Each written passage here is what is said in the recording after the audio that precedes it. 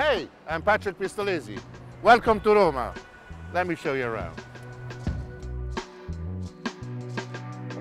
My favorite part of Rome is a very big city, has a lot of different areas where to go.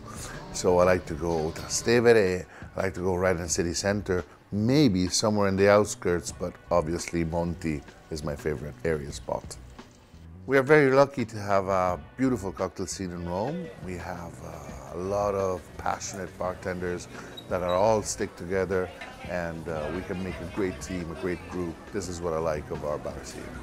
In Rome, we're very, very lucky. We have fantastic markets all around the place where we can find all the fresh ingredients in season. I come here because uh, it's always good to have a walk, to see the different things they have to offer. And uh, on a sunny day like this, you know, it's a pleasure.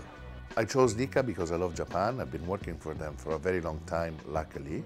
And uh, it's a beautiful whiskey that can combine perfectly with Italian ingredients like vermouth, bitter. That's why we chose to make a sort of a strong but elegant aperitivo.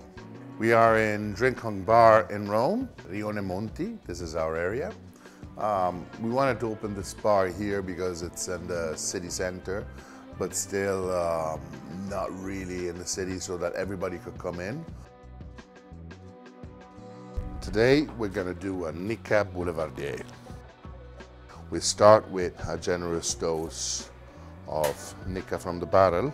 Then we add some Italian vermouth and some Italian bitter. More bitters and some maraschino.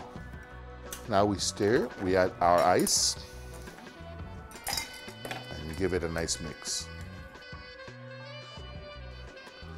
Then we add our ice, we pour it over the ice and a nice orange zest.